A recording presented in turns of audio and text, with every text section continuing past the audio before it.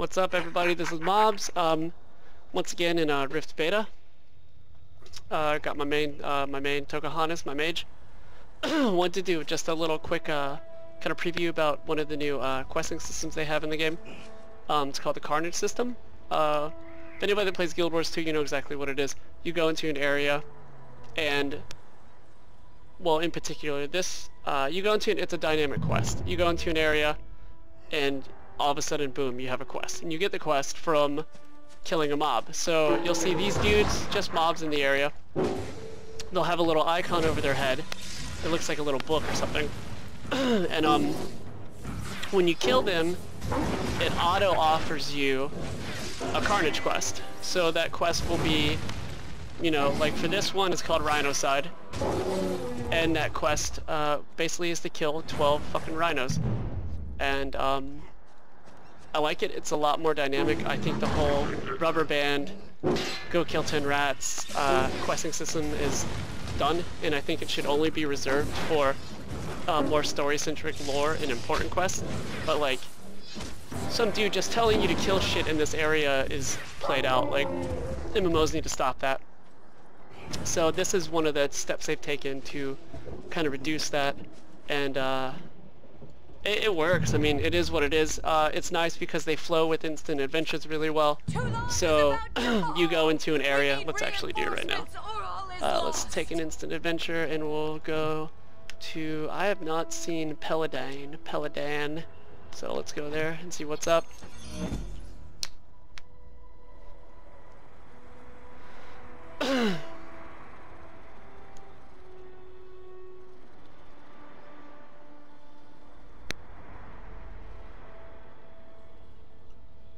Anytime now. Okay, so uh, Pelladane, which I've never been to clearly, as you can see. I fucking it's totally blank. Wow, that's well, that's the size of the continent you're looking at. It's pretty big. Um, apparently, it's supposed to be three times the size of the current world. Um, anyway, so you roll into this area, and uh, this is another thing you'll see often is basically questing on the fly.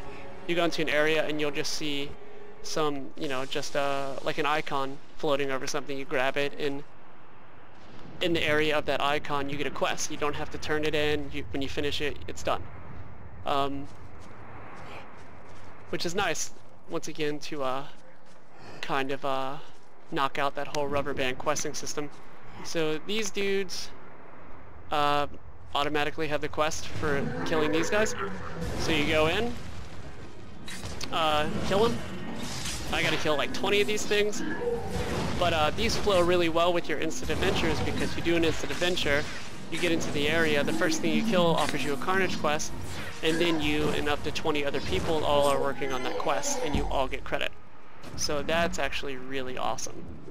Um, it's just a nice, dynamic, um, kind of an updated way to kind of um, level, and from what I have heard, um, they've kind of implanted them everywhere in the game throughout the whole leveling experience. So it'll just make it better. And like I said, I think that the whole talk to this NPC, go do this shit, uh, should be reserved for story quests and more lore so you actually pay attention to it instead of just clicking through it as fast as you can to get it out of the way so you can go kill more things.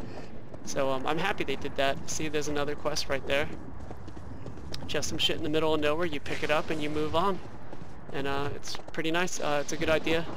It's uh, you know, Guild Wars 2 did a couple things right, and the questing system was one of them, and then they did a couple hundred things wrong.